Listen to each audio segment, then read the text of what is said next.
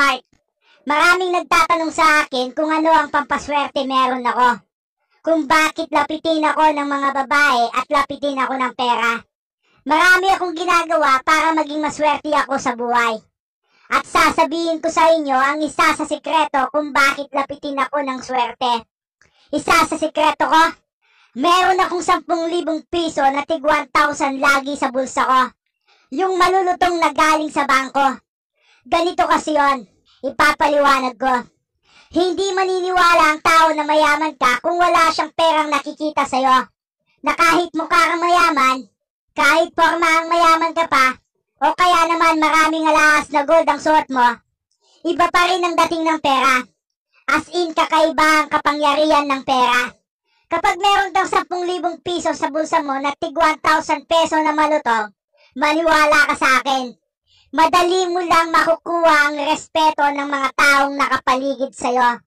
So ano ang gagawin mo sa 10,000 na hawak mo na nasa bulsa mo? Wala kang gagawin. As in display lang sila.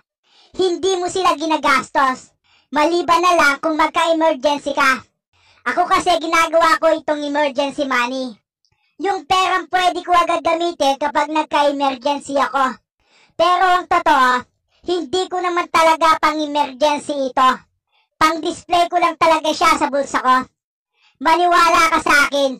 Kapag meron kang 10,000 piso na tig 1,000 peso na malutong sa bulsa mo, tataas ang tingin ng mga tao na nakapaligid sa'yo. Kahit na yung mayaman bro, maniwala ka sa akin. Makukuha mo ang respeto niya. Ang technique dito ganito. Kunwari kasama mo ang kaibigan mo at kakain kayo sa labas. Kunwari kanya-kanya kayong bayad sa mga order nyo. O kaya naman share-share sa mga gastos. Kunwari meron kang inanda na 500 peso para sa paglabas nyo na yon.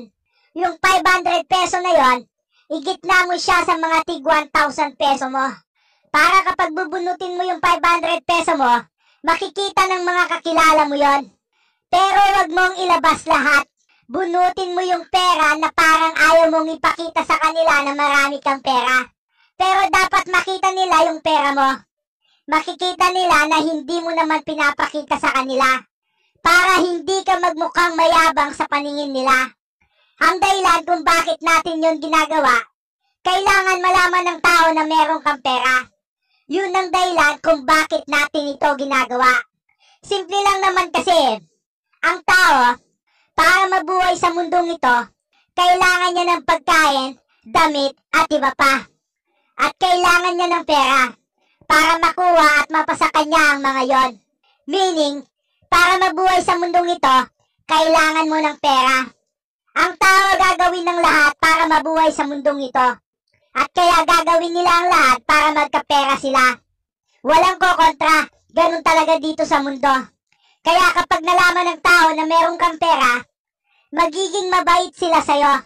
Kakaibiganin ka nila. Magtatanong sila kung paano ka kumikita ng pera. Tapos ipapaliwanag mo lang sa kanila na kailangan nilang gawin ito. Gawin iyon para kumita ng pera. Dahil sa kagustuhan nilang kumita ng pera, halos lahat ng sasabihin mo susundin nila. Kasi nga 'di ba? Ikaw kumikita ka ng pera. Kaya kung gusto nilang kumita din ng pera gaya mo, kailangan gawin nila yung mga sasabihin mo para kumita din sila, 'di ba? It makes sense, 'di ba? Kapag sinabi mo sa babae na kailangan, dapat magaling siya makipag-usap ng mga tao, gagawin niya 'yon. Nakakausap siya ng mga tao. At doon mo siya kakausapin. Yayain mo siyang lumabas at sabihin mo, Tara, kita tayo para maturuan kita kung paano kausapin ng tao. Kapag pumayag siya, eh di may kadate ka na, di ba? Kunwari, sinabi mo naman sa tao na, dapat ikaw ang nanlilibre sa mga mayayaman para hindi nila isipin na pineperahan mo sila. At kapag nalaman nila na hindi mo sila pineperahan, ililibre ka nila, kaya tiba-tiba ka nun. Kaya yon, kahit na alam nilang may pera ako, nililibre nila ako. Ganun lang yon, eh kabyaso. Kunwari, sinabi mo naman sa lalaki na, dapat yung sinusuot mo na damit, yung malakas makapang-akit ng mga babae at pera. Dapat ganito ang isuot mo. Ganito ang pormahan mo. Tapos tsaka mo sabihin sa kanya na, punta ka doon sa fashion store namin. Doon ka mamili ng mga damit. Kasi yung mga damit na binibenta namin, pang-akit talaga ng babae at ng pera. Tapos yun, dahil gusto niyang kumita ng pera, gagawin niya yung mga sinabi mo. At doon siya mamimili sa tindahan nyo. Ganun lang yon. Eh, kabyaso. Bago ko tapusin ang video na ito, may mga tanong lang ako. Bakit ka siniswerte sa buhay?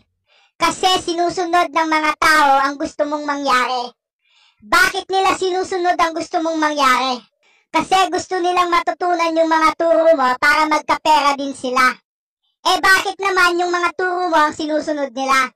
Kasi nakikita nila na lagi kang may pera at hindi ka nauubusan ng pera. Eh bakit hindi ka naman nauubusan ng pera? Kasi hindi mo ginagastos at nakadisplay lang sila sa bulsa mo.